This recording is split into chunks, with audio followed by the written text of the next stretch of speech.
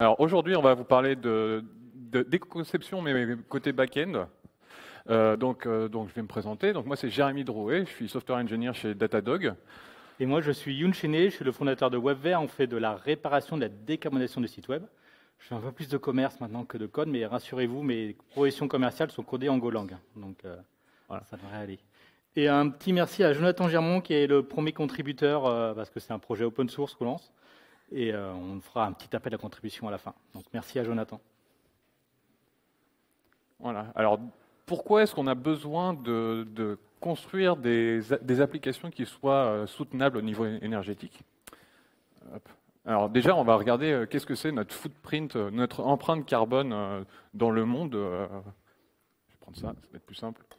Alors, au niveau mondial, l'Internet mondial, c'est à peu près 67 millions de serveurs qui vont héberger nos applications. Pour, tout ça pour 4,1 milliards d'utilisateurs. Euh, et chaque utilisateur a environ 8 euh, devices, et tous ces devices, ça donne à peu près 223 euh, millions de tonnes de, matériaux qui sont durs à recycler parce que c'est des tout petits chips ou que ça va être, ouais, tout, le matériel va être dur à extraire. Voilà. Donc si vous voulez savoir d'où vient, vous avez un lien là-bas. D'où viennent les infos, ça vient de là-bas. Mais aussi, enfin, l'empreinte du coup du numérique, c'est aussi 0,2% euh, de l'utilisation de l'eau euh, mondiale. Euh, c'est aussi 3,8% au niveau mondial de la production de gaz à effet de serre. C'est 4,2% de l'énergie primaire consommée et c'est aussi 5,5% de l'énergie de la production électrique mondiale de la consommation d'électrique mondiale. Donc tout ça, ça regroupe donc euh, les serveurs, ça regroupe les télés qui tournent chez vous, ça regroupe la domotique, ça regroupe vos serveurs, les routeurs qui tournent chez vous 24 heures sur 24 euh, ou les box télé, ça, ça regroupe euh, vos montres connectées, les ordinateurs, mais aussi vos bagnoles qui maintenant ont une bonne part d'informatique qui est quid de dans 10 ans où ce sera plus mis à jour et qu'il y aura des failles de sécurité, qu'est-ce qu'on en fait? On jette la bagnole et on en rachète une autre juste parce que c'est pas maintenu. Voilà, ça c'est des questions à se poser.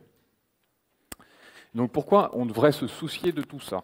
Euh, Donc ça c'est euh, au niveau mondial, c'est euh, la production de gaz à effet de serre depuis ma naissance en, en 1990. donc là on voit que bah, ça a bien baissé, on est passé de 7 tonnes en 90 à à peu près 5 tonnes en 2020 juste avant le Covid. Et là, la petite descente euh, que vous voyez, le dernier point, c'est euh, pendant le Covid. Donc on avait, voyageait plus, on achetait moins de trucs, euh, on faisait plein d'économies au niveau d'énergie.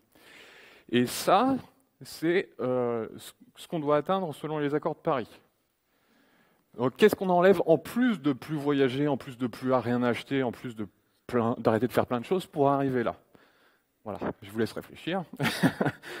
Euh, donc, ce diagramme-là, c'est pour vous montrer que si on suit les accords de Paris, donc qu'on ne dépasse pas les 1,5 degrés, euh, bah, ça c'est les projections en fait.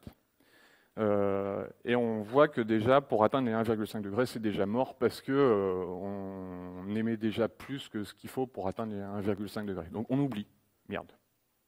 Voilà, on oublie. Ça, on n'atteindra pas 1,5 degrés, c'est mort.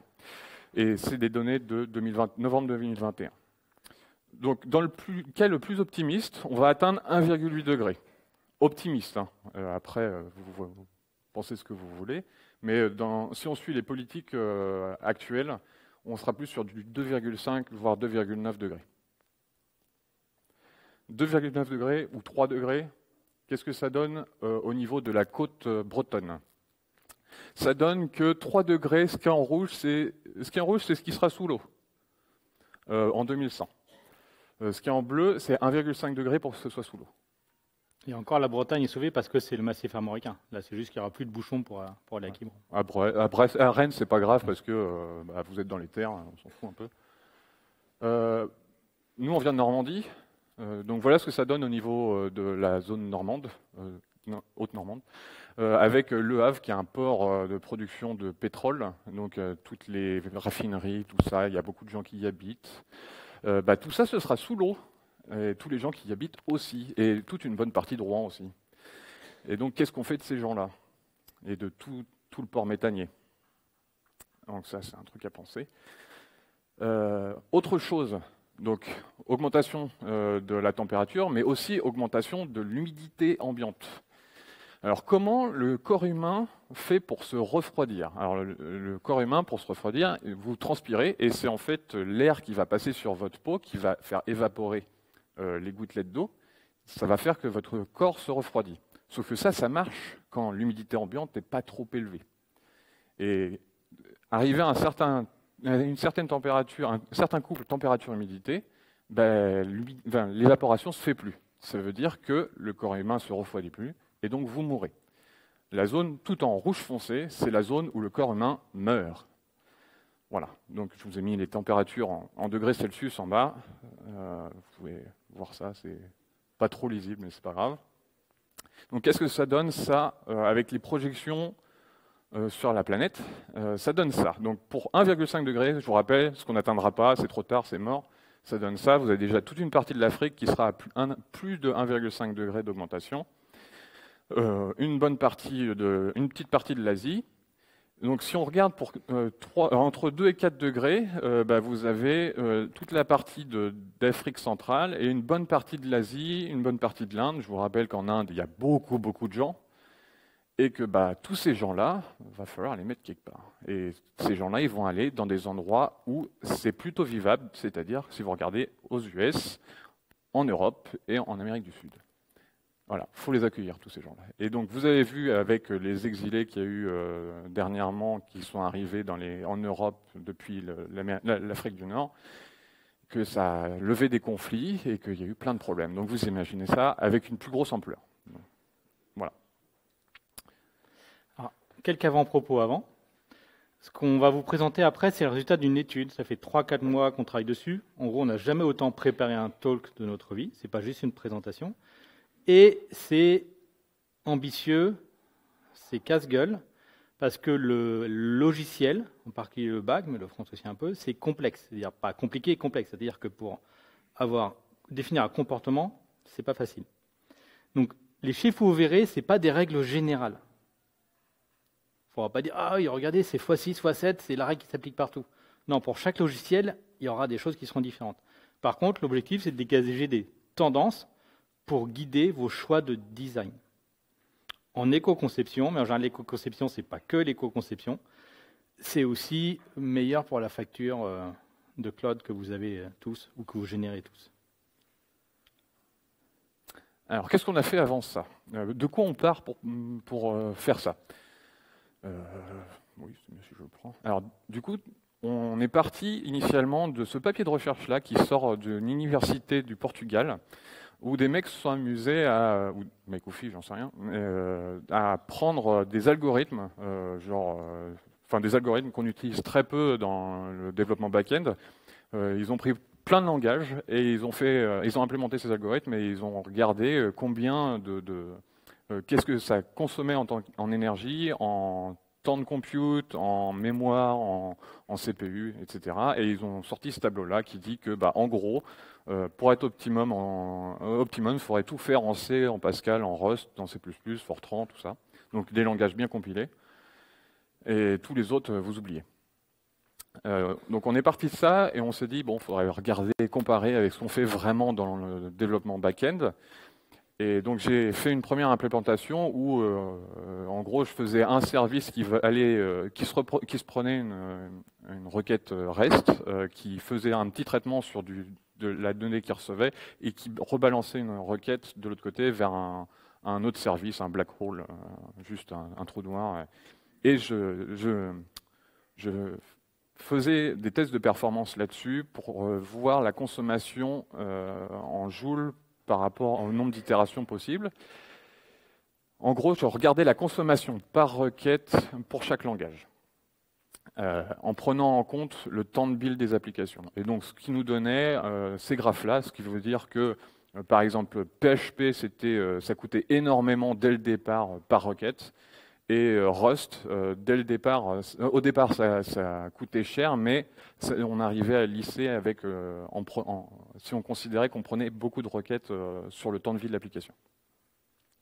Mais ça, c'était pas suffisant parce que euh, bah, une application, c'est pas juste euh, prendre une requête et la renvoyer quelque part. On a aussi euh, stocké de la donnée et ça, c'est ce qu'on a voulu voir donc sur cette nouvelle partie. Voilà. Et donc moi, je fais partie de TechRox. Tous ceux qui, si vous êtes architecte, responsable d'engineering et tout ça, CTO, Head of Product, vous pouvez rejoindre, le Slack. Et le débat est arrivé. L'article s'est rediffusé sur LinkedIn et après, c'est arrivé sur le Slack. La réaction, c'est déjà que j'ai du mal à recruter en JavaScript ou en PHP. Alors imaginez si je dois recruter des développeurs C ou C++. Je ne vais pas refaire toute ma stack, c'est pas actionnable, c'est pas possible. Et si on prend les grands gourous du C, C++, ils disent euh, ça reste bas niveau. Hein. On peut faire beaucoup de bêtises comme ça, c'est compliqué et c'est dur à faire. Donc en vrai, après cette étude, c'est difficile à actionner, mine de rien. L'objectif, c'est de trouver de l'actionnable. De... Qu'est-ce qui est actionnable Qu'est-ce que, si tu passes sur la prochaine? À la prochaine, pardon. Hop entre le code, le, système d'exploitation, la base de données, le protocole, le langage, qu'est-ce qui influe vraiment dans le design d'éco-conception? Qu'est-ce qui fait que vous allez pouvoir prendre plus d'utilisateurs sur la machine? Qu'est-ce qui fait que vous allez consommer moins d'énergie? Et donc, la vérité, c'est que 99%, du temps, vous le passez à faire du code, des code reviews, du design et tout ça. Et souvent, en début d'un projet, là, vous avez passé beaucoup de temps en réunion avec les architectes, les vendeurs et tout ça pour choisir quelle base de données on prend, quel langage on prend, etc. C'est là où il y avait les petits trolls entre développeurs, entre architectes pour décider. Chacun est dans sa chapelle, etc. Mais si on avait, est-ce qu'on peut avoir les données pour mieux décider? C'est l'objet de notre étude. Faire des décisions éduquées. Donc, moi, enfin, quand on a parlé du sujet, moi, ce que je disais, c'est que du coup, c'était le langage qui était le plus important, euh, que euh, bah, avec les résultats que j'avais eus à, la première implémentation, c'était ça qui vraiment allait avoir un, impact sur les performances, alors que toi, tu... Eh ben, de mon côté, j'ai fait non, langage, ça doit être important. Euh, vu tout le mauvais code que j'ai vu dans ma carrière, je suis sûr que même avec un mauvais langage, avec du bon code, on sera bien plus performant et tout ça. Moi, c'était mon biais personnel en regardant les choses. On va voir ce que ça a donné. Donc on a mis en place euh, toute une infra pour pouvoir faire euh, du calcul, et donc on va vous montrer le protocole. Donc un petit rappel, euh, le protocole initial c'était le, papier de recherche, donc le Simple Algorithm, c'est le papier de recherche. L'API simple, c'est ce que j'ai fait l'année dernière, avec juste le petit service qui prend une requête et qui la modifie et qui la renvoie autre part. Et maintenant, on passe sur l'implémentation d'une to-do list. D'accord, c'est simple, mais c'est un, cas juste pour comparer.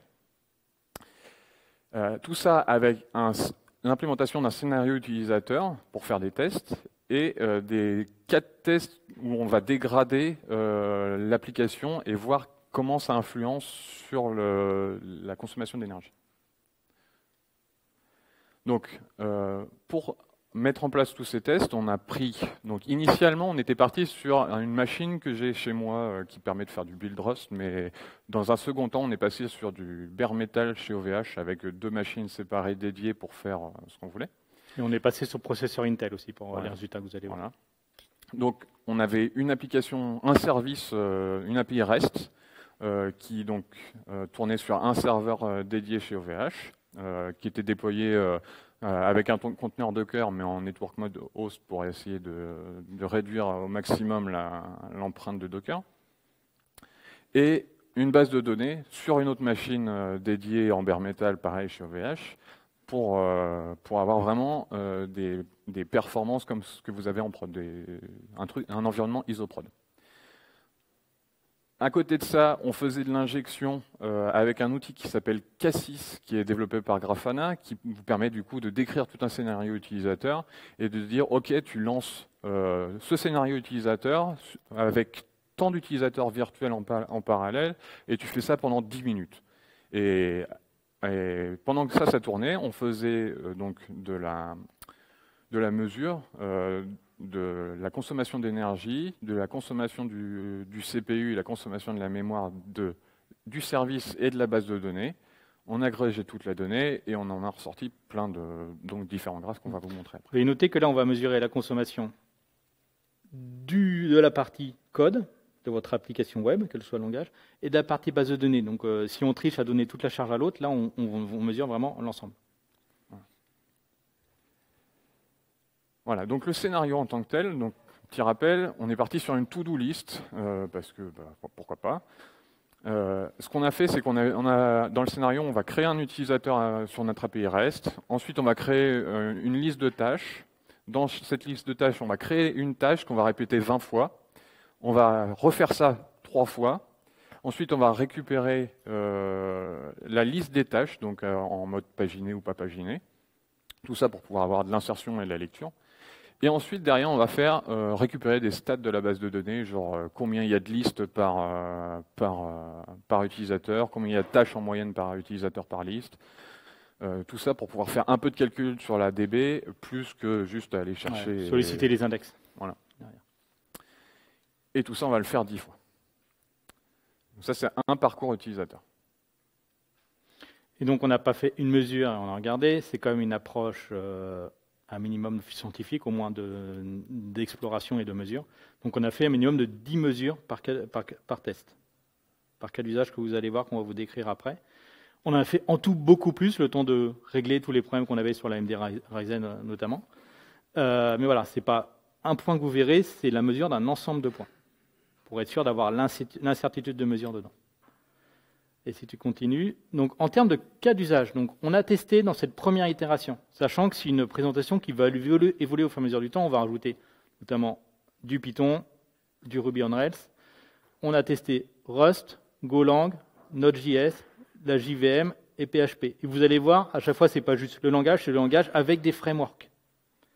Donc, par exemple, là, c'est PHP Symfony. Je suis sûr qu'il y a des personnes dans la salle qui font du PHP qui vont dire Ah, mais Laravel, c'est mieux. après, il faudra qu'on rajoute, avec l'aide de contributeurs, un exemple sur Laravel. Et ensuite, on a euh, eu différents cas d'usage où on a dégradé le design initial volontairement. Euh, en gros, on a repris tous les mauvais codes et les mauvaises pratiques qu'on a vues par le passé. Euh, donc, à nous, deux, ça fait pas mal d'années. Et du coup, on va vous les présenter tout de suite. Donc de base, euh, ce que doivent respecter chaque cas d'usage, c'est une API REST, très simple, et par contre, euh, l'entrée est fixée et la sortie est fixée. Ça doit générer ce type de requête à la fin. Bien sûr, avec certains ORM, vous allez avoir des petites différences, mais on a mesuré les différences pour qu'elles soient acceptables à chaque fois. Il faut qu'on les documents, notamment pour la partie euh, Java, Spring Data. Et derrière, la base de données, c'est du Postgre. Donc vous voyez la création du compte, la création de la liste, la création de la tâche, le fait de paginer et de lister les tâches et le fait d'avoir de, la statistique pour solliciter les index. Donc ça, c'est notre référence Postgre plus une implémentation d'API. Et donc le premier qu'on a fait, c'est on a enlevé les index. Pour ceux qui ont fait de la perf, c'est assez classique. Donc vous allez me dire, ouais, mais il n'y a personne qui fait jamais ça. Euh, vous connaissez tous quelqu'un qui a du WordPress ou quelqu'un qui connaît du WordPress. Allez voir la base de données. Vous pourriez être surpris de la non-présence d'index. Donc c'est un, vrai cas qui est sur le terrain. Et ensuite, et c'est à toi la suite. Ah ouais, donc euh, deuxième cas, on a, enfin, c'est euh, les loops ORM. Il y a pas mal d'ORM qui vont faire ça, genre vous, allez vouloir récupérer euh, la liste des tâches pour, pour les listes. Et eh ben ça va aller vous chercher toutes les listes et après pour chaque liste, allez vous chercher toutes les toutes les tâches. donc ça va vous faire, si vous avez n listes, ça va vous faire n requêtes derrière, donc n plus une requête pour aller chercher les tâches associées. Donc ça, c'est ce qu'on a voulu voir. Donc c'est ce qu'on a implémenté pour euh, faire euh, ouais, ce mauvais cas.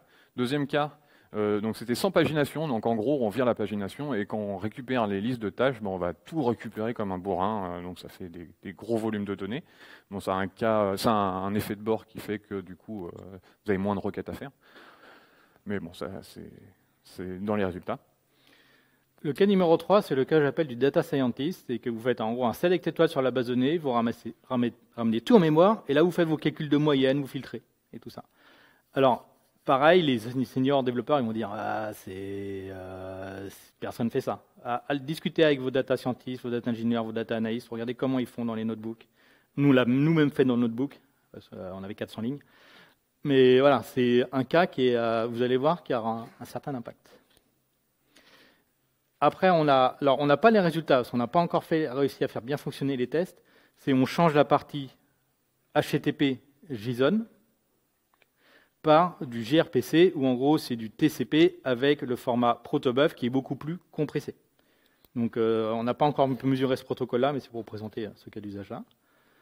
Et enfin, on a changé euh, la partie Postgre par la partie MySQL pour voir si la, base de données commençait à avoir une influence sur le design. Euh, pour ceux qui ne savent pas, LAMP, c'est Linux, Apache, MySQL et PHP. Donc c'est quand même, même en 2022, très très présent. Et on va passer au résultat. Alors, euh, tout d'abord, donc l'impact écologique du numérique, c'est selon l'ARCEP, c'est ça? Pour les, les résultats France et l'ARCEP. Voilà.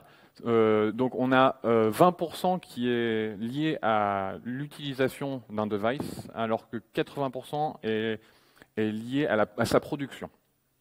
Donc ça c'est la consommation d'énergie donc qui est liée à ça. Et l'autre côté c'est euh, la production. Donc plus vous ajoutez de serveurs, plus ça va vous coûter à ce niveau-là. Donc au niveau mondial c'est plus 35-65 l'impact. Après, tous vos serveurs ne sont probablement tous pas en France. Vous avez sûrement des choses en Irlande, Amazon, etc. À Francfort aussi. Francfort, ça va être beaucoup plus carboné. Mais ce qu'il faut retenir là, c'est que les proportions restent grossièrement les mêmes. C'est que la consommation, c'est que 35% de l'équation. Le vrai enjeu, c'est comment j'ai moins de serveurs pour servir le même nombre d'utilisateurs. Ça plaira aussi à votre directeur financier ou directrice financière. Ensuite, les petits points que vous allez voir sur les graphes par la suite, ce pas des petits points. En fait, c'est des diagrammes à moustache. Dans les premiers graphes, on avait beaucoup plus d'incertitudes, donc on les voyait bien. Là, on ne les voit plus. Et c'est-à-dire que dans les petits points, vous avez à la fois la médiane, mais à la fois l'écart type et toute l'incertitude qui va avec. Donc vous avez vraiment les 10 mesures qui sont comprises dedans, et des fois vous allez avoir des petits points plus bas qui sont les points aberrants. On a une mesure vraiment à côté de la plaque, qui ne sont pas comptés dedans.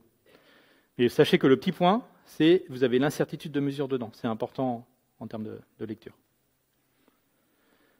Et on n'a pas pu faire gRPC, comme j'ai dit tout à l'heure. Et on va, avant de commencer ça, est-ce qu'il y a des développeurs PHP dans la salle? Levez la main. Est-ce que vous pouvez juste prendre une respiration, se gonfler le ventre? C'est pour, pour préparer pour la suite. Merci. Merci. Alors ça donne ça. Comme vous le voyez en haut, vous avez à la fois le nom du langage, le scénario et les frameworks qui l'accompagnent. Bah, pour la GM, c'est du Kotlin avec du Spring. Pour Go, c'est avec PGX. Pour Rust, c'est avec ActiveX et SQLX. C'est toi qui, l'as implémenté. Et vous avez à chaque fois les noms. Donc là, c'est vraiment le plus haut, le meilleur. Donc tout en haut, on va trouver Golang et Rust. Il ne va pas le dire, mais Golang un petit peu plus fort que Rust. Mais après, par rapport au reste, euh, on s'en fiche. Ensuite, toute la partie JVM, après, toute la partie Node.js. Ensuite, toute la partie MySQL qui a un impact. Donc, euh, hier, on a eu la remarque justement pour. Euh, il y a peut-être du tuning à faire et tout ça. Et ensuite, toute la partie PHP Symfony. C'est tout le nuage de points qui est tout en bas, là, derrière. Et là, ce que vous avez, ce n'est pas la consommation, c'est le nombre de fois que l'itération que vous a présentée Jérémy a été réalisée. Vous avez un rapport de 12, dans notre cas, ça ne sera pas le cas pour vos applications, entre l'implémentation PHP et l'implémentation en Rust ou en Go. est quasiment équivalent pour la partie JVM et un peu moins pour Node. À noter que pour Node, sur le Ryzen de, Jérémy, Node était quasiment au niveau de Java, voire pas loin de Rust et Go. Si vous avez regardé les benches il y a un ou deux ans, le Ryzen était meilleur sur la compilation JavaScript que les processeurs Intel. Et là, c'est du processeur Intel. Donc là, c'est vraiment la performance. en gros, c'est le nombre d'utilisateurs que vous pouvez accepter par serveur. Là, ça veut dire que pour PHP Symfony, vous devez mettre 6 à 12 fois plus de serveurs que pour Go ou Rust. Pour la même charge. Et c'est là qu'on arrive avec les impacts en eau, en énergie et tout ça. Et aussi sur votre facture. Alors, côté RAM et CPU, voilà. Donc, euh, donc ça nous donne à peu près ça. Euh, donc on peut s'y attendre un peu. Euh, niveau Consommation de RAM, euh, vous avez trouvé euh, dans le top euh, la JVM. ensuite, donc là, vous allez voir, il y a un petit point Rust là-bas, mais c'est parce que le, graphique est un peu biaisé, parce qu'il y a un point aberrant et ça devrait être un peu plus à droite, mais c'est pas grave. ensuite. Ensuite, vous avez à peu près toutes les autres tous les autres langages qui sont un peu en qui sont en dessous, aux alentours de 1 giga de RAM pour faire tourner tout ça, voire moins euh, pour, euh, pour du Node ou du Go ou du Rust. ensuite, niveau CPU, donc vous allez voir qu'il y a PHP toujours en haut qui bouffe bien de la, du CPU. Ensuite, vous allez trouver toute la partie agrégation ou la partie data scientist, enfin Appeler data scientist euh, ici, c'est assez normal parce qu'on récupère tout et on fait du calcul en local.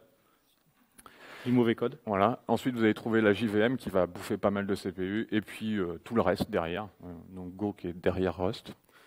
voilà. On va passer maintenant à la consommation d'énergie. Donc, c'était la mesure la plus compliquée à avoir. Si on vient sur les API du processeur et ça comprend que le CPU, pas l'empreinte de la RAM, pour bien comprendre la chose. Euh, et le point, c'est que là, plus on est bas, meilleur c'est. Vous voyez tout en haut là un vrai derrière à parce qu'il y a plus d'écart de, de mesure.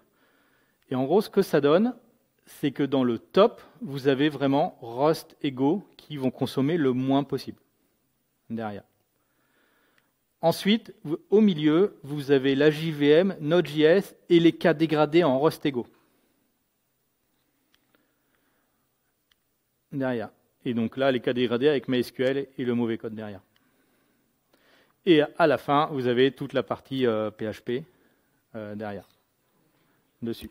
Après, regardez les échelles, hein. c'est surtout ça qui est intéressant. Voilà, on est à 0,030 et là, on va monter d'une décimale là, euh, derrière. Et là, on, fait x3 sur la décimale à ce niveau-là, x2, x3. C'est ça qui est, intéressant. Donc ça suit la même tendance, la consommation suit à peu près la même tendance que la partie nombre d'utilisateurs, performance qu'on peut mettre sur un serveur. Donc si je récapitule ça, ça veut dire que euh, que ce soit en consommation ou en nombre d'utilisateurs qu'on met un serveur, ça suit la même tendance. C'est-à-dire que même si vous faites du code pourri en Go ou en Rust, vous n'êtes pas aussi mauvais que PHP, qui est un langage interprété, qui est son point faible ici, derrière. Et ça, par rapport à ce qu'on a qu'on a dit tout à l'heure, c'est un peu, c'était complètement contraire à mon intuition de départ. Comme quoi, la mesure, un protocole, ça a permis d'enlever les, oui-dire, ses opinions, ses pensées tout ça. Quand on mesure, bah, en fait, on se rend compte des, vraies choses. Après, on a fait l'évaluation par design. Donc, on a essayé de, voir quel design avait le plus de pourcentage d'impact. Donc, j'ai réussi à, faire ce graphe avec, en prenant 35% de la partie consommation, euh, c'est inversé dans, le graphique, je me compte, mais 35% de la partie conso et 65% de la partie performance. Je rajoute des serveurs et je consomme dans les data centers. Donc là, on voit que les régressions MySQL sont les gros cas, que l'index a quand même un, un, cas important et que le reste, la partie ORM n'est pas si impactante que ça. Euh, en vrai, ce graphe, il n'est pas si bon que ça, parce que ici, l'écart type, l'incertitude, elle est beaucoup trop grosse par rapport à la mesure. En gros, euh, c'est à chaque fois plus de la moitié de la mesure, l'écart type. Donc cette mesure n'est pas valable. Donc on n'a pas réussi à avoir vraiment les pourcentages. Et pourquoi il y a ça? C'est parce que si on commence par Golang, en consommation, euh, on est là à, entre l'exemple de base et l'exemple dégradé à du trois fois plus lent enfin qui consomme trois fois plus, pardon. Si on va sur euh, et Rust est le même qu'avant. Et si on va sur Node, là on est sur euh, deux fois plus à, trois fois plus. Si on va sur, sur euh, la JVM, on est à deux, à deux fois plus, plus 100%.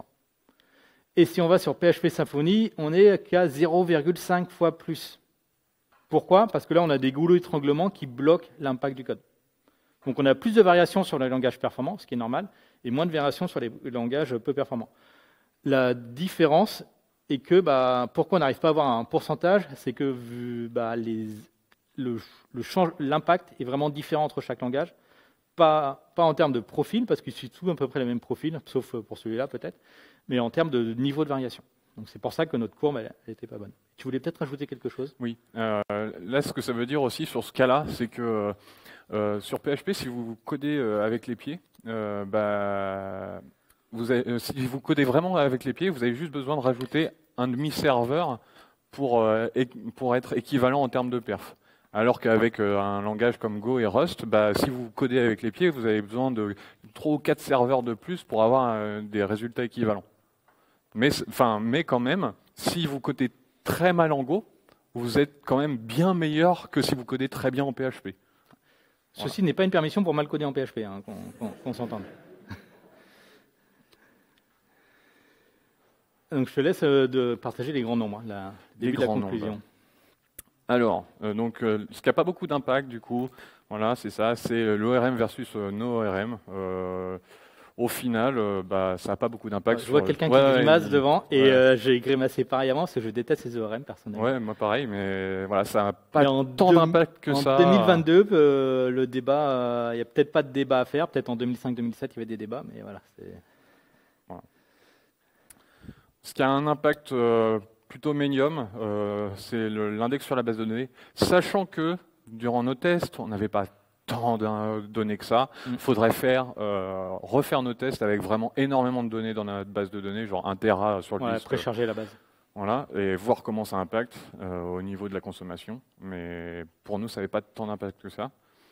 Et par contre, ce qui a vraiment un impact, c'est euh, le langage et son écosystème, le choix de la base de données et faire du code pour.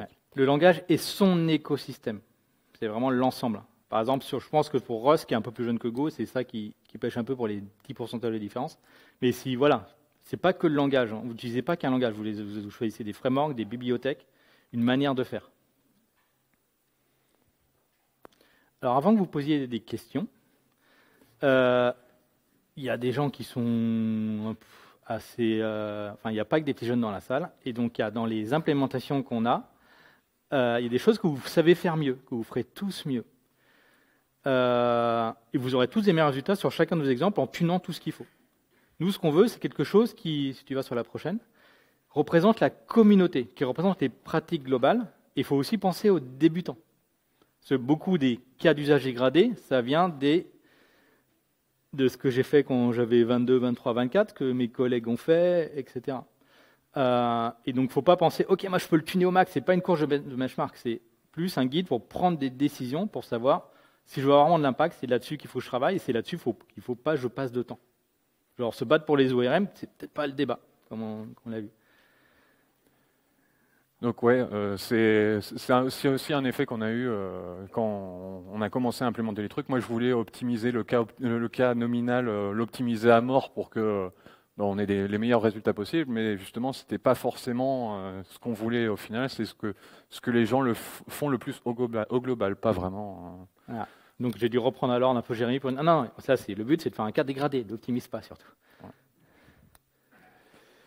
Et euh, ce projet fait partie d'un sous-chantier du collectif Boavista qui va devenir euh, une association prochainement. C'est un collectif de professionnels sur la mesure de l'empreinte du numérique.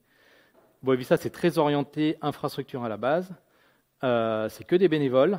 Et l'objectif, c'est d'avoir plus de monde sur la partie logicielle pour nous aider à contribuer dessus. Donc, tout ce que vous avez, c'est dans ce projet GitHub, euh, chez Boavista. Vous avez tout le code de test, tout le code des cas d'usage, et dans Result, vous avez les résultats en CSV et vous avez un notebook sur comment ont été faits les graphes. Donc vous pouvez aller sur le notebook, sur GitHub, ça vous montre tout directement, vous n'avez pas besoin de le compiler et tout ça. Et euh, vous pourrez zoomer dans les datas, même euh, le forquer, regarder la donnée.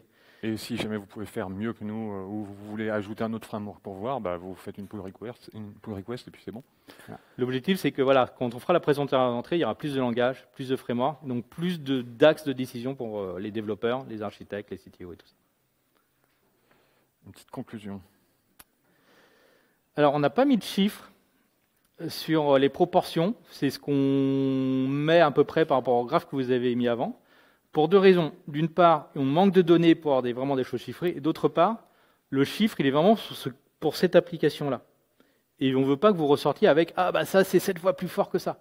Non, c'est plus le choix du langage compilé par interprété, ça a une influence. La base de données, le choix peut avoir une influence, etc. Après, là, ce qu'a dit Jérémy, c'est que si on fait la somme de tous les autres, on n'arrive pas à l'impact du langage. Quand vous êtes dans les compilés, c'est pour vous battre pour être au meilleur. Mais voilà, c'est euh, entre PHP et les, compilés, même si vous faites la somme de tous les autres, vous n'avez pas, autant d'effets. Et on compte ajouter les serveurs web, le système d'exploitation et le protocole. Alors qu'est-ce qu'on a appris dans tout ça? Euh, donc c'est ce que je disais tout à l'heure, même si vous faites du mauvais code en Go, euh, bah, vous serez toujours mieux que du PHP. et que du coup c'est le langage et son écosystème qui ont le plus d'influence sur la consommation d'énergie. Et après, pour la prochaine fois, c'est ajouter des cas d'usage, parler du cas classique du débat PHP Laravel versus Symfony. C'est nous ajouter la, la, partie gRPC. On a trouvé normalement des contributeurs pour Python et Ruby. Python, c'est sûr. Ruby, je suis encore en train de négocier. Et surtout, nous, il faut qu'on bosse sur la documentation pour accueillir des contributeurs pour que ce soit facile à comprendre et que les, gens puissent euh, faire des nouveaux cas d'usage pour tester. Hier, on a eu des, suggestions assez intéressantes. Et donc, avoir des, contributeurs et aussi avoir, par exemple, du C Sharp ou des trucs plus anciens, qui ont du CGIBIM et du Perl, si vous êtes courageux, nous on ne le fera pas, on n'est pas assez compétent là-dedans. Et on a vu que la base de données avait un premier impact là. Donc ça va être intéressant de creuser la partie base de données. Au-delà de j'utilise la base de données autre chose que pour son cas nominal. Il euh, faut aussi qu'on fasse un peu de tuning sur euh, comment on fait tourner nos tests, parce que là actuellement on utilise les configurations par défaut des connection pools, euh, par exemple pour la base de données. Donc il euh, faut qu'on homogénéise tout ça pour dire ok, euh, chaque euh, application serveur utilise le même nombre max de connection pool, ce genre de choses là. et au-delà de ça, il faut aussi qu'on rajoute quelques scripts pour être sûr que tous les serveurs se comportent de la même façon, qu'on ait le même nombre de requêtes vers la base de données, qu'on ait le même nombre de requêtes, enfin la même taille des résultats, ce genre de choses là pour, que, pour être sûr que quand des gens viennent proposer des contributions, qu'on puisse dire OK, c'est compliant ou ça correspond aux autres implémentations et donc du coup on peut les faire tourner aussi. On a le même nom de requête SQL, les mêmes API REST et tout ça. Quelques ressources. Donc, pour faire, donc je rappelle, pour faire la mesure ou l'évaluation de, la, de la quantité euh, d'énergie utilisée euh, par euh, le service et la base de données, on a utilisé Scaphandre, qui utilise le module RAPL euh, qui est dans le kernel Linux. Euh, pour euh, balancer des scénarios utilisateurs, on a utilisé Cassis et pour faire tourner nos services et bases de données, on a utilisé des images Docker, donc voilà, Mobi Mobi. Voilà, un rappel sur l'appel à contribution, c'est open source, c'est une étude. on peut, nous, on ne peut pas être compétent dans tous les langages et tous les technos, c'est pour ça qu'on fait de l'appel à contribution. Et vous avez tous les liens là-dessus et on refera un tweet juste après avec tous les éléments. Merci à vous.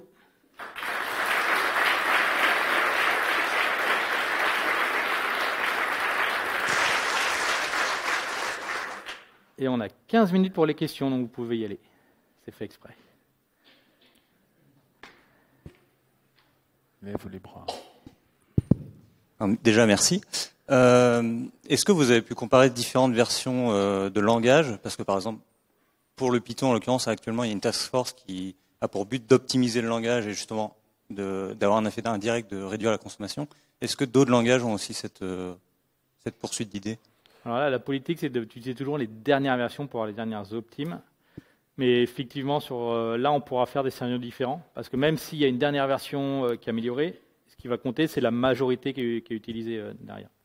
Et par exemple, même pour MySQL, on utilise les dernières versions, Postgre les dernières versions, justement pour ne pas être critiqué sur le fait que c'est la version a deux ans, c'est normal juste un petit aperçu aussi du travail que ça génère derrière. Euh, là, c'est 10 minutes par, euh, par 4 tests, sachant qu'après, on a 6 euh, scénarios qu'on va faire tourner 10 fois, et tout ça sur juste deux machines. et il faut qu'on fasse. Enfin, on est limité en temps, quoi. donc, si en plus de ça, on multiplie par le nombre de versions pour chaque base de données, chaque langage. Mm. Voilà. justement, voilà, à deux, on ne va pas suffire. Donc, contribution. À trois même. Euh, merci pour la conf. Moi, je me posais une question. de mémoire, la machine que vous utilisez est quand même vachement puissante. Est-ce que vous avez pensé à changer la taille des machines? Alors, on l'a fait. Et il euh, faut qu'on mette les specs dans la machine. Là, on a pris du bare metal OVH, euh, du Soyuz Start, pour les gammes d'il y a 2-3 ans et euh, surtout passer sur processeur Intel. Donc ça doit être de mémoire du 2 Go avec. Euh, en mémoire, c'était assez bien taillé. Mais on faudra qu'on remette les specs, elles sont sur, notre Slack partagé. Mais oui, on a changé des machines, ça a permis de réduire beaucoup l'incertitude de mesure. Après, c'est sous le fait que c'était des serveurs en data center réglés pour que tout soit stable et pas des machines euh, desktop où euh, c'est réglé pour avoir des grosses variations de consommation d'énergie. Et je sais que notamment côté Node, ils sont de mémoire, niveau multithreading, ils sont pas très bons. Et du coup, avoir plus, des machines plus petites mais plus, ça reviendra peut-être à la même consommation. Ouais, mais non, justement, là, euh, plus de machines, c'est mal. Parce que c'est 65% euh, ou 80% de la production euh, de CO2. Merci beaucoup. Là-bas. Euh, je- Merci beaucoup pour le talk, c'était super intéressant. Euh, sur le benchmark, je me suis- je me demandais si vous avez pensé à partir de benchmark, de partir de benchmark existants. En particulier, je pensais à Tech Em- Tech Empower, qui compare plein de frameworks web sur plein de langages et tout différents. Et du coup, vous pouvez partir de d'implémentations dont on sait déjà qu'elles sont censées être les meilleures possibles pour cette configuration de stack. Alors, Et en pratique, je sais qu'il y a déjà quelqu'un qui fait ça à l'INRIA, exactement le même type d'exercice sur Te- Tech Empower. Ça m'intéresse. Euh, Alors, donc, on a appris l'existence de ce que tu as dit hier à- dans, les inter- dans les, le public pareil de Sonytech. C'est des choses qu'il faut qu'on étudie. ouais. Après, euh, euh, il y a des différences quand même. ouais, ça, ce serait le, le cas optimal. Mais nous, euh, ce qu'on a évalué, c'est aussi les cas dégradés. Et donc ça, les cas dégradés, ils y sont pas. Le vrai code de tous les jours. Voilà. Mais oui, et t'as là, si on veut, je vois bien le contact de l'INRIA, ça m'intéresse.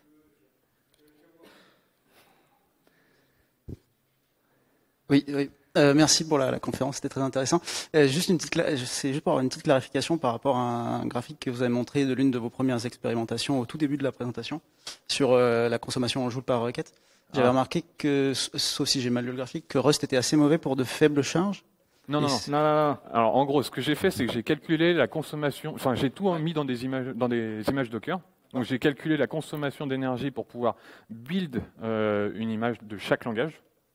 Ensuite, j'ai calculé euh, pour X, euh, X euh, requêtes euh, le coût énergétique euh, de mon application. Et donc, j'ai fait la relation entre les deux. C'est combien de temps il faut pour amor- amortir, euh, en gros, le coût de build? Donc toi, c'est build plus run Ah la mesure. Voilà, c'est la mesure build plus run. Donc c'est euh, euh, quand je vais retrouver la slide. Ouais, c'est tout au début. Mais en gros, le build, c'est compliqué. Le run, c'est compliqué parce que vous faites une application pour une DSI pour 20, euh, une DSI pour 20 personnes. Votre coût de build va être beaucoup plus important que votre run. Vous êtes Doctolib ou euh, Back Market et tout ça, euh, même si vous livrez tous les jours, Putain. votre coût de build est négligeable par rapport à tout ce qui vous arrive en run. Donc, euh, c'est des choses à séparer. Ouais, d'accord, ok. Bon, voilà, c'est ça. Ça, t'as pas trop mal au doigt Non, ça va. Bonsoir, bonsoir, merci beaucoup. Euh, donc vous avez bien précisé hein, que vous avez étudié que la partie temps de calcul, euh, mémoire stockage. Euh, mais moi, intuitivement, j'aurais dit que ça, c'était assez négligeable, peut-être par rapport à d'autres éléments, comme le réseau, par exemple. Euh, si on met tout ça sur un serveur qui est loin de chez le client, bah, ça va passer par plein de routeurs. va- Je sais pas si vous. enfin, Alors, je suis moins spécialisé dessus, j'ai pas les chiffres. Euh, j'entends les. Alors, je vais être honnête, j'ai pas assez creusé, mais il faudra que je redemande à Boavista. Mais j'entends les deux sons de cloche. Que les, enfin, le gain des équipements réseau f- de maintenant font que la partie réseau serait négligeable par rapport à ça. Et j'entends aussi l'inverse. Euh, après, le point est que les gains qu'on fait sont linéaires et l'usage est exponentiel. Donc, euh, ça, c'est- plus ça. Mais euh, si on prend pour la... Moi, je suis plus spécialisé en contenu web. Ce qu'on mesure en contenu web, c'est la bande passante. Parce qu'un WordPress, en gros, c'est je mets ma page en cache et je balance dans la bande passante. Donc, je, mets dans les tuyaux de l'infrastructure. Et donc, toutes les études sont faites là-dessus parce que c'est la plus grosse variable. Après, il y a des débats sur les études qui ont été faites euh, pour dire que c'est peut-être pas aussi linéaire que ça et qu'en fait, euh, la bande passante, donc le réseau, sont pas si importants que ça. Euh, pour moi, j'ai fait un état de l'art de- des mesures ça. Pour moi, ça, le marché manque encore de maturité. Donc, j'espère que les chercheurs vont améliorer ça. Je vois que tu es au VH. Donc, moi, mon rêve, c'est de lancer une thèse avec l'équipe qui, fait du, qui hoste la partie WordPress et Drupal en mutu chez vous. Parce que là, on aurait la data pour vraiment le déterminer. on les connaît, on pourra s'arranger. Voilà. Donc, je suis en train de grenouiller chez vous. Et Bah, je suis prêt à voir le, mettre le budget justement pour payer une thèse là-dessus, mais la thèse sans les données ne sert à rien. Et vous, vous êtes à un certain niveau, comme Infomania qui fait beaucoup ça aussi, pour l'avoir. J'en profite. On en reparle. Merci.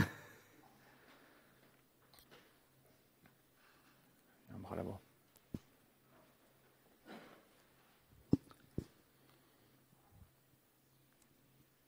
Euh, L'impression que ça me donne, c'est que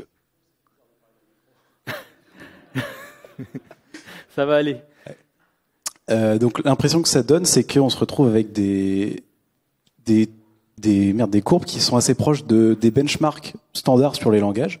Ouais. Est-ce que on peut généraliser et dire que si on, si on programme pour la performance, donc si on essaie vraiment d'optimiser pour la performance pure, au final, euh, on travaille notre impact énergétique? Oui, à une condition. Que tu n'augmentes pas le, nombre de serveurs ou la taille des serveurs que tu loues chez tes clouders préférés et de tricher comme ça. Si tu fais ça, en fait, moi, ma société fait de l'optimisation de sites web. En fait, je fais les- en 2010, ça s'appelait de la web perf.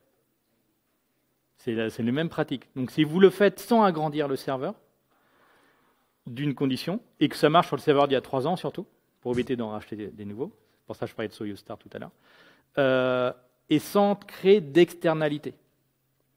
Je prends l'exemple. Vous êtes SNCF Connect, vous avez fait un mode sombre pour économiser un peu d'énergie. Le vrai gain, il est sur j'évite aux gens d'acheter de nouveaux téléphones, de nouvelles tablettes et tout ça. Et le vrai gain, là, quand je dis personnalité, c'est rendre compatible son logiciel pour que ça marche sur les anciens appareils, les anciens OS, les appareils qui sont à- été achetés a 3 à 4 ans. Back market explose de plus en plus. Donc, il faut que ça puisse marcher sur les appareils. Donc, oui, si ça peut être de la perf au sens pur, si vous grossissez pas les serveurs, physiques ou virtuels, et si vous ne créez pas de l'achat de terminaux en plus pour vos utilisateurs. Et si vous avez compris ça, vous avez compris l'éco-conception en général pour guider vos actions. Oui, en fait, j'ai encore une question. Euh, par rapport au protocole, justement, je savoir, euh, est-ce que vous avez regardé ou est-ce que vous pensez qu'il y a un impact quelconque euh, au type de- aux versions de protocole utilisées, par exemple passer de HTTP1 à HTTP2 Euh, Est-ce que ça, ça a un quelconque impact ou pas? On l'a mis dans notre backlog, ça ou pas? Non, on l'a pas dans le backlog. non. Euh, Alors, euh, il y a quelques mois, j'aurais t'aurais répondu, on s'en fout, tout le monde est passé au HTTP2, mais euh, mon expérience de trois derniers mois me dit que non. Donc euh, la question est validée. Mais en gros, on a un backlog euh, sur Trello pour le moment qu'on va pas laisser dans les GitHub issues, donc euh, vous allez pouvoir rajouter des cas euh, si vous allez sur le repo. C'est des trucs qui viennent, qui viennent en tête. Euh, bah, dans le même sens un peu que HTTP2, euh, parce qu'il y a beaucoup de mécanismes de cache et tout ça dans HTTP2. Peut-être je suis mal placé. Euh, Est-ce que vous avez euh, une, euh, une intuition sur... Parce qu'en fait, souvent en algorithmique, on a un trade-off entre le stockage et le temps de calcul. Est-ce que vous avez une intuition de qu'est-ce qui coûte le plus cher? Est-ce qu'il faut mieux euh, cacher beaucoup de trucs ou euh, recalculer? Ça fait partie du Trello. Ouais. Euh, le cache est toujours un peu chiant à mesurer et à implémenter, pour ceux qui ont surtout la- l'invalidation. Euh, on a eu la même question hier. Donc si tu fais un plus 1 sur le truc, là, il faudra qu'on faut qu'on y Il travaille. faut qu'on l'implémente et qu'on le teste. Euh, niveau intuition, il faut tester. Ok, merci. Merci pour la présentation euh, et le B- PHP bashing. Hein, euh, top. euh, non, il pas de souci. Euh, la question que j'avais, c'était par rapport à la configuration des serveurs. Si on prend par exemple un Apache configuré en défaut, il est euh, vachement moins puissant qu'un Nginx, mais si on lui met euh, certains modules, certaines configurations spécifiques, on passe à une configuration PHP spécifique qui est assez connue quand même dans le milieu de ceux qui installent des serveurs PHP. Donc on optimise. Dans ce cas-là, effectivement, on va se retrouver à part égale. Donc, comment vous allez faire, sachant que vous dites que on utilise plutôt les, on va dire les, le langage par défaut euh, et, les, et les erreurs par défaut que l'on peut faire au niveau code, au Alors, niveau du protocole? il faut que quand même le, le cas par défaut il soit assez optimisé. Nous, on a pas mal optimisé les requêtes et tout ça. Après, le Nginx versus Apache, euh, il est- dans le backlog. On l'a mis dès le début. Euh, après, je sais pas pour toi. Moi, j'ai manqué de niveau pour bien les configurer au niveau perf-perf. Je sais bien les configurer au niveau bande passante. Euh, Il faut savoir si on fait un appel à contributeur ou pas. Après, euh, on a utilisé euh, une image PHP, enfin une image de base PHP, Apache PHP. Du coup, j'imagine que c'est optimisé pour que ça marche. Sinon, euh, bah, faites quelque chose de mieux, les gars. Est-ce que tu as, cherché PHP FPM Alors, c'est pas moi qui l'ai implémenté du coup parce que je sais pas faire de PHP. Ah, qu'est-ce qu'il a fait, Jonathan Euh, Et Du coup, ça, Jonathan, il a fait 10 ans de symphonie avant, donc euh, voilà. D'accord. Bah, tant qu'il a fait du PHP FPM, il a déjà un petit peu de chance. Mais... C'est ce qu'on a, travaillé ensemble, c'est ce qu'il avait mis en place. Là, il faut que je regarde. Je n'ai pas regardé tous les détails. Je t'avoue, sur les, dix- les- tous les cas d'usage. Oui. Après, il n'y a pas du langage bashing et tout ça. C'est que Non, attends, attends Python et Ruby, c'est tout. Quoi. J'avais juste par contre une autre question au niveau du graphe initial euh, sur la consommation, enfin la production de CO2 de la France. Est-ce que vous avez inclus aussi euh, tout ce qui est euh, production de CO2 par les imports? Alors, euh, la, donc ça, la question a été posée lors de la présentation par l'ARCEP et je ne me rappelle plus de la réponse. La réponse, c'est- c'était écrit en bas du graphe. hein. C'est pas compté. les imports. il y a des liens euh, de toute façon sur chaque slide.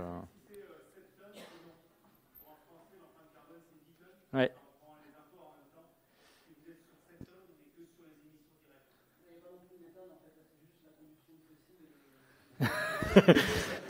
Bon voilà, c'est bien plus. les oranges.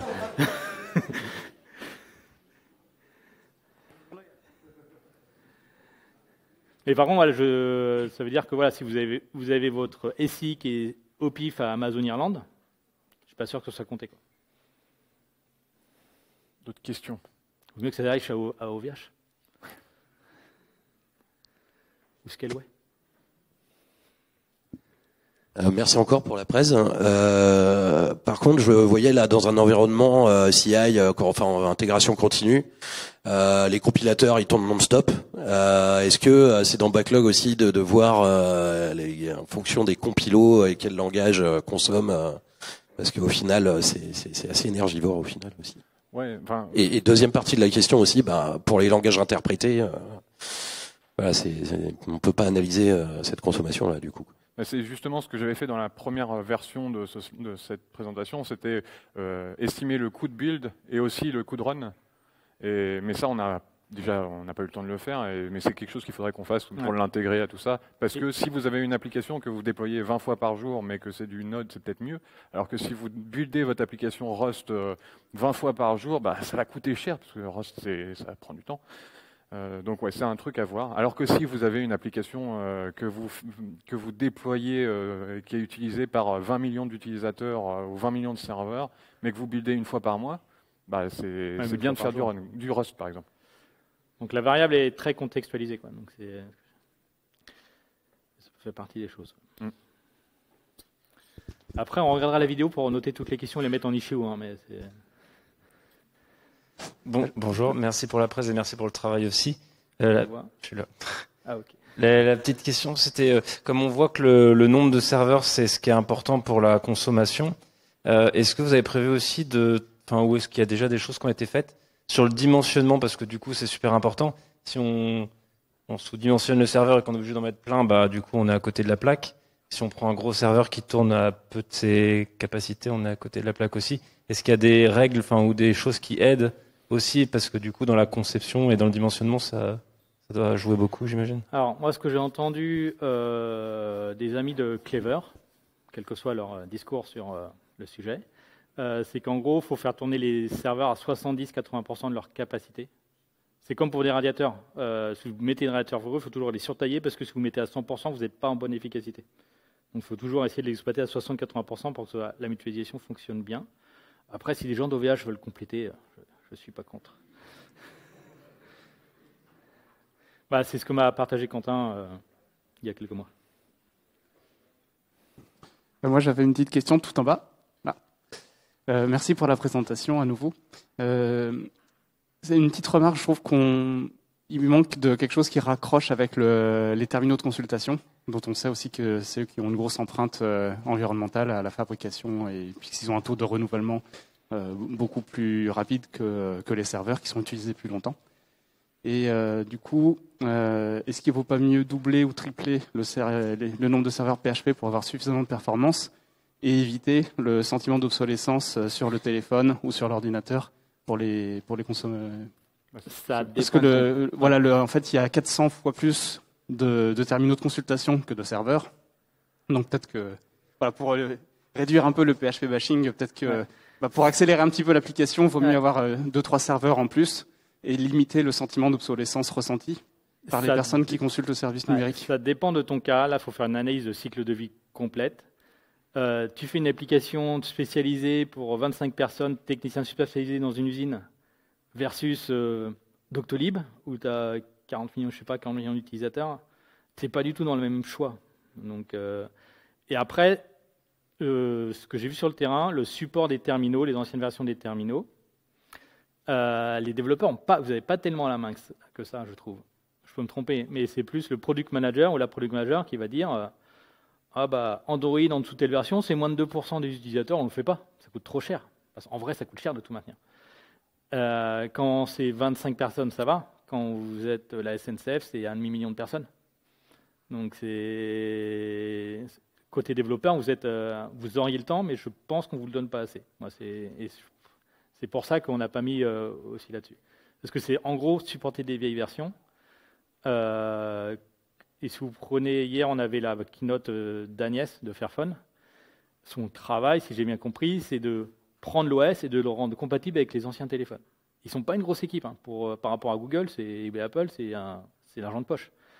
Et après, pour moi, le travail il est vraiment d'un après c'est plus politique, mais c'est plus légal, c'est l'Europe, les États-Unis qui doivent légiférer pour qu'il y ait un support de 10 ans sur les OS. on prend l'exemple de ta voiture, mais l'exemple de la voiture, c'est ce qui se passe sur les téléphones actuels. Ah, Ou YouTube ne marche plus sur l'iPad de ma belle-mère. L'iPad, il y a 5 ans. Voilà.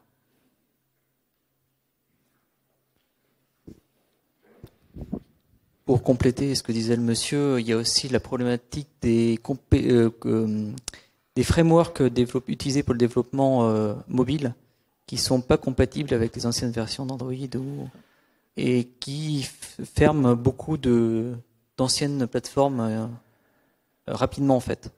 Alors ce que j'ai compris, c'est pas le cas de Flutter. J'ai été discuté avec des développeurs et a priori c'est pas le cas de Flutter, mais euh, si tu as des, des, trucs à partager, je vois bien. Ben, sur Xamarin, sur Capacitor, c'est le cas.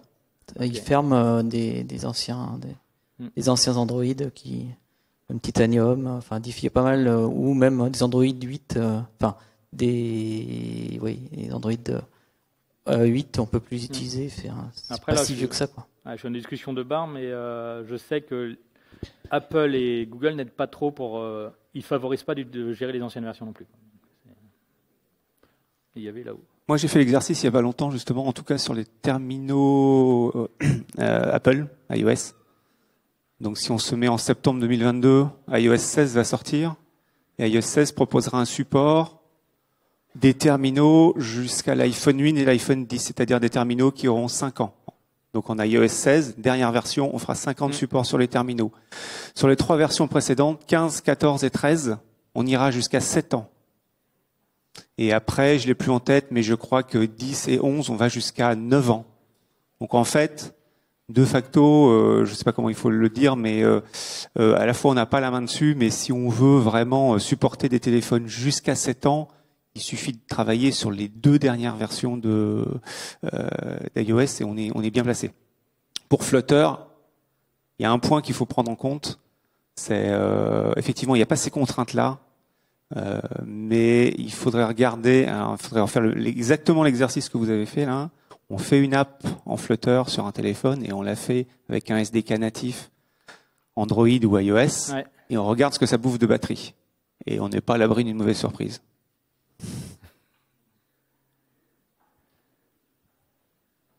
On va arrêter là.